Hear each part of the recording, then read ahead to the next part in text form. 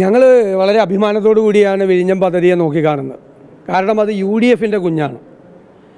ഉമ്മൻചാണ്ടി എന്നുള്ള മുഖ്യമന്ത്രിയുടെ നിശ്ചയദാർഢ്യത്തിന്റെ വിജയമാണ് നാളെ അവിടെ കപ്പലെടുക്കുമ്പോൾ കേരളത്തിലെ ജനങ്ങൾ നോക്കിക്കാണുന്നത് അന്ന് ഞങ്ങൾ ഈ പദ്ധതി കൊണ്ടുവരുമ്പോൾ എന്തെല്ലാം തടസ്സവാദങ്ങളാണ് ഇവരെല്ലാം ഉന്നയിച്ചത്.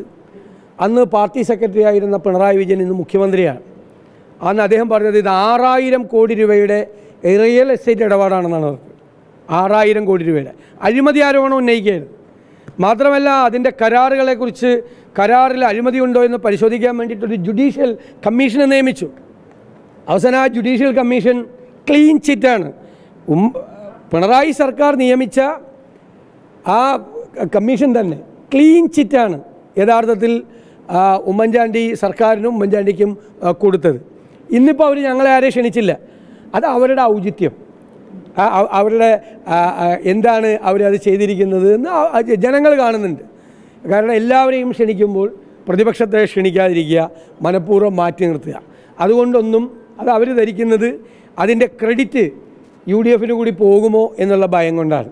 അത് ജനങ്ങളുടെ മനസ്സിലുണ്ട്. ഉമ്മൻചാണ്ടിയുടെ മുഖം ജനങ്ങളുടെ മനസ്സിലുണ്ട്.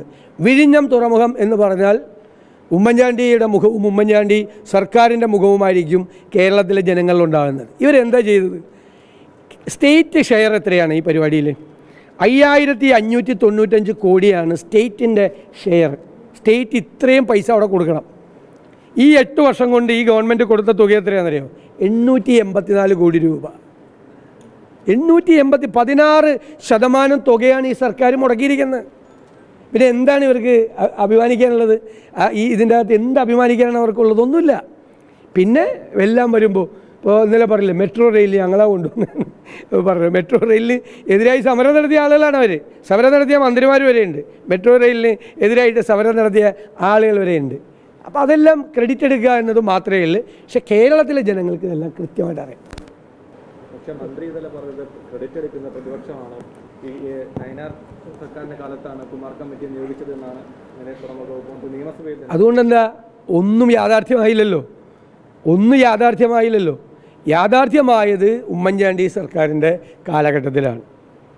ടെൻഡർ ചെയ്ത് അതിന്റെ നടപടിക്രമങ്ങൾ പൂർത്തിയാക്കി അതിന്റെ സ്ഥലമെടുപ്പ് ഉൾപ്പെടെയുള്ള കാര്യങ്ങൾ പൂർത്തിയാക്കി അവിടെയുള്ള സമരത്തെ സെറ്റിൽ ചെയ്ത് എന്താ ചെയ്തത്? ഈ തുറമുഖം വരുമ്പോൾ ചിലപ്പോൾ ആ ഡെവലപ്മെന്റ് വിക്ടിംസ് ഉണ്ടാവും. കാരണം കരയെടുത്തു പോകും പല സ്ഥലത്തും. അവരെ പുനരധിവസിപ്പിക്കാൻ വേണ്ടിയിട്ടുള്ള നാനൂറ്റി എഴുപത്തി മൂന്ന് കോടി രൂപയുടെ പദ്ധതി കൂടി ഗവൺമെന്റ് ഉത്തരവിറക്കിയതാരാ? ഉമ്മൻചാണ്ടി സർക്കാരാണ് ഒരു രൂപ ഒരു ഇതുവരെ മുടക്കിയിട്ടില്ല. ഒരു രൂപ ഒന്നും ഒന്നും ചെയ്തിട്ടില്ല. അവിടെ വേറൊന്നും ഇവർ ചെയ്തിട്ടില്ല. മനസ്സിലായില്ല? എല്ലാ നടപടി പൂർത്തിയാക്കി അവിടെ നിർമ്മാണ പ്രവർത്തനം ആരംഭിച്ചിട്ടാണ്. അപ്പോഴാണ് പറഞ്ഞത് ആറായിരം കോടി രൂപയുടെ റിയൽ എസ്റ്റേറ്റ് ഇടപാടാണ് എന്ന് പറയും. ഇപ്പോൾ റിയൽ എസ്റ്റേറ്റ് ആണോ അവിടെ നടക്കണത് ആണോ? ആറായിരം കോടി രൂപയുടെ റിയൽ എസ്റ്റേറ്റ് ആണെന്ന് പറഞ്ഞ ആളാ മുഖ്യമന്ത്രി. അതിനെ തടസ്സപ്പെടുത്ത അഴിമതിയാണെന്ന് പറഞ്ഞ ആ പദ്ധതിയെ ഇല്ലാതാക്കാൻ. അന്ന് ആ മനുഷ്യൻ പറഞ്ഞു ആരെന്തു പറഞ്ഞാലും എന്ത് ചെയ്താലും വിഴിഞ്ഞം പദ്ധതി യാഥാർത്ഥ്യമാക്കും എന്ന് പറഞ്ഞ മുഖ്യമന്ത്രിയായിരുന്നു മഞ്ഞാൽ I to I news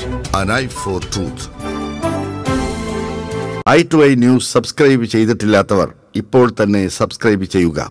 notification ലഭിക്കുവാൻ ബെൽ ബട്ടണും അമർത്തുക.